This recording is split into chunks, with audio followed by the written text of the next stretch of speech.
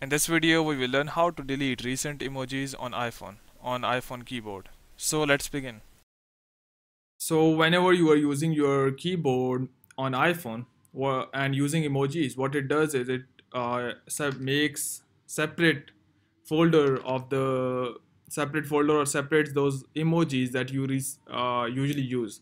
For example, if you go to any of these things and here you go to the emojis sorry emojis not bitmojis so here you can see the frequently used.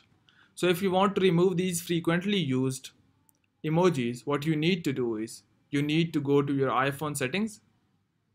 Here we are. Now scroll down below and search for general. Here we have general. Tap on it. Now scroll down below. Go to the end. So here we have reset option. Now here we have reset keyboard dictionary option. Here just go and enter your passcode.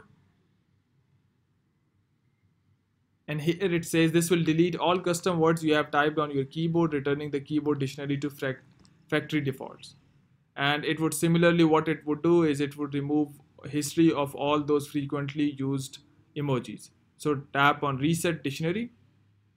Once you have done so, now if you want to check it, just go and open your message app, go to your emojis, and here you can see it has been removed and all those default emojis are back.